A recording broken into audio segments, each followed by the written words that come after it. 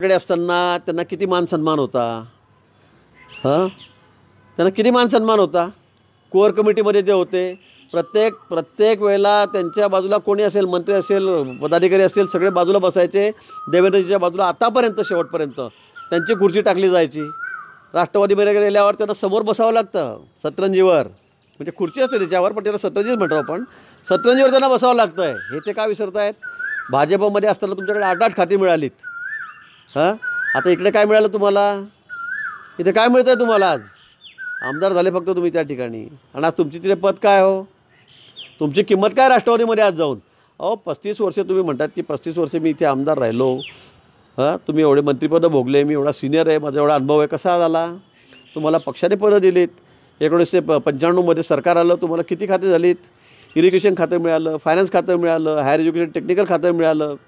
कृषी खातं ज्यावेळेला मिळालं तुम्ही चार चार खाते त्यावेळेला सांभाळलेत. हां?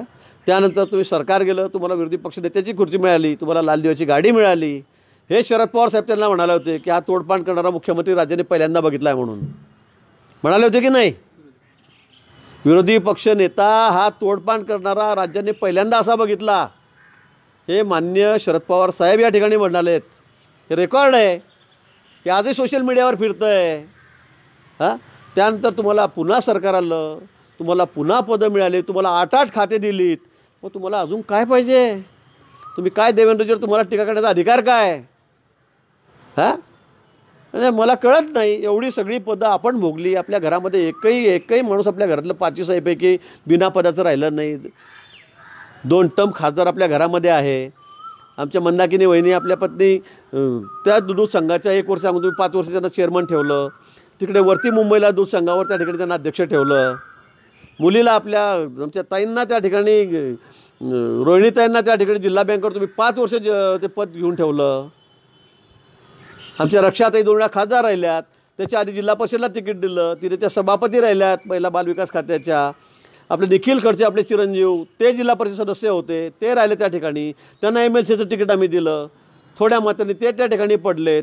तुम्हाला सहा वेळा निवडणूक तुम्ही जिंकलात. तुम्ही एवढी पदं भोगलीत. नंतर आपण सातव्यांदा रोहिणीताईंना त्या ठिकाणी आमदारकी दिली. मला वाटतं राज्यामध्ये त्यांना जेवढी पदं मिळालीत एका घरामध्ये कुटुंबामध्ये तेवढी कुणालाही मिळाली नसतील. कुणालाही नाही. मला सांगा तुम्ही उदाहरणाखात कुणालाही मिळालेलं नाहीत.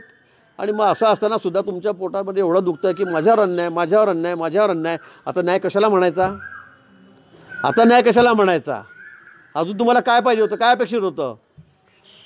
मला मुख्यमंत्री मला मुख्यमंत्री. म्हणजे लोकांना वाटलं पाहिजे ना. आपल्या स्वतःला तर लय वाटतं पंतप्रधान झालं पाहिजे म्हणून. पण लोकांना तर वाटलं पाहिजे पक्ष शेट्टींना वाटलं पाहिजे ना. हां? आपल्यावर नंतर काय भेटली आपल्यावर काय आरोप झालेत आपल्यावर काय स्ट्रक्चर ओढले गेलेत? हे आपण काय विसरतो सोयीस्करपणे? मला घालवलं देवेंद्रजींनी घालवलं देवेंद्रजींनी घालवलं. कोण कशाला काय घालवेल? आपण जे सगळे कामं केलीत ते सगळे उघडे झालेत. आपण ज्या चुका केल्या त्या सगळ्या उघड आहेत. आणि त्यामुळे कोणी कोणाला काही घालवत नाही. आपण आपल्या कर्तृत्वानेच जातो मला असं वाटतं. आणि तेच आपल्या बाबतीमध्ये झालेलं आहे. आणि म्हणून आपण आता टीका करा टुका करा. आपण रोज काय काय ते बोलत असतात. आपल्याला प्रसिद्धीत राहायचं आहे आता. आता तुम्ही विरोधी पक्षात आहात तुमची भूमिका निभवा. हे ते टीका करणारच आहेत. त्यांनी ती करावी. त्यांना माझ्या शुभेच्छा आहे. तुम्ही विरोधात आहात तुम्ही तुमचं काम चांगलं करा. आता आम्ही सत्तेमध्ये आहो आता आम्ही आमचं काम चांगलं करू.